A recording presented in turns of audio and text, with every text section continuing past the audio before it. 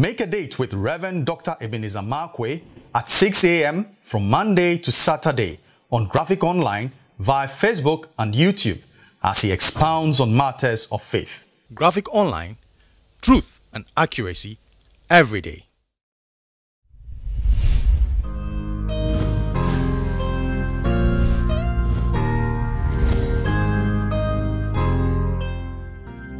This is Reverend Dr. Ebenezer Markwei of Living Streams International, bringing you matters of faith with Graphic Online.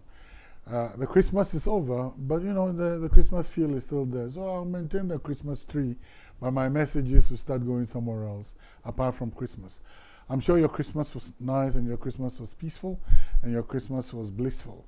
Um, I'm sure your Christmas was blessed. Well, mine was blessed and mine was blissful and mine was peaceful. Um, I'm still recovering from the fatigue of Christmas. My topic for today, I like to call Room for Everything. This morning, I'm looking at a particular woman in the Bible. Her name is Rahab, and I'm looking at the uh, various things that she, um, uh, she embodies, especially for the year that is coming ahead. And I want us to um, go with her and uh, look at her characteristics. I'm fascinated by by the fact that of all the people who were living in Jericho, of all the people who were living in the city of Jericho, only just her and her family were saved. In actual fact, it was she who was the main person that was brought out of Jericho. And um, I, am fascinated by the story that you'll be very surprised in, in, in, Joshua chapter 6, verse 1 to 19. It, it, it reads out the, the, the story, Joshua chapter 5 and Joshua chapter 6, reads out the story of this woman called Rahab and I am extremely fascinated by her. Now, the Bible said something about her that uh, makes it. Why was she alone? I mean, picked up, and her family picked up. And I'm very, very interested in.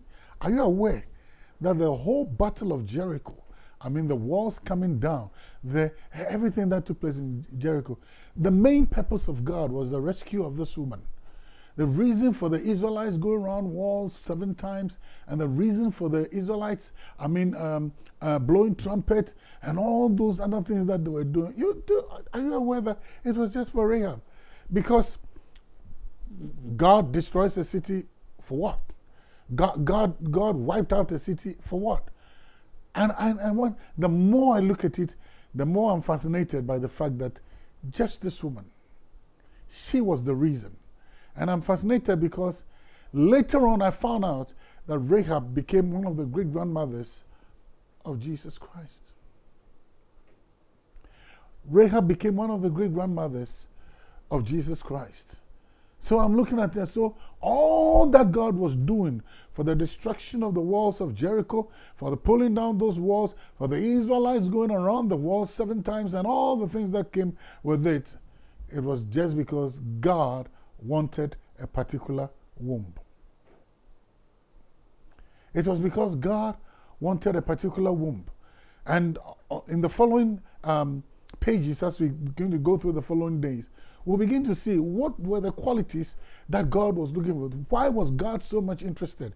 And I found to my greatest shock that in Hebrews chapter 11, when God was talking about his hall of faith, or God was commending people who had impressed him with their faith, amongst them was this Rahab. Rahab's name was in the list, and that blew me out. I mean, God interested in Rahab. Now, you'll be very, very surprised. Who was Rahab? A prostitute. Rahab was a prostitute. Yet God chose her womb. This is a woman who uh, was at the service of men rich man, poor man, beggar man, thief. And yet, God said, This is who I want. What will make a prostitute impress God? And Hebrews chapter 11 holds God's uh, hall of fame for faith. God's faith hall of fame. And Rahab was there. So, something about the faith of Rahab, something about Rahab's positioning, something about Rahab's character, something about this that made sure that Rahab stood tall. And I'm going to hit this one and then we'll move on to the next ones as, as the days go by. You know what Rahab means? Rahab means room on all sides. I have room for everything. in this, on this earth. I have room for everything. And I'm impressed. I'm, I was impressed with her. She had had room for every sort of man. And this time she said to herself, God is about to do something in my life. God is about to do something for humanity. I need to have room for God. So many times we, we find people, you've drawn up your New Year's list, you've drawn up your New Year's resolution, you'll be very surprised that there's no room for God in it. No room has been dedicated, no time has been allotted for God, for the, for the worship of God. No time has been, or no finances has been allocated for God. Nothing has been done when it comes to God. We're only fascinated by ourselves, our needs, our goals, our aims. Listen, whatever you carve out for next year, put God into it. The Bible said something Seek ye first the kingdom of heaven and its righteousness, and all other things shall be added unto you. So here we go. We're going through Rahab, and we're going to go through some powerful principles. We are on the Rahab roll, and we're going to look at those principles to guide and guard ourselves for the year that is coming.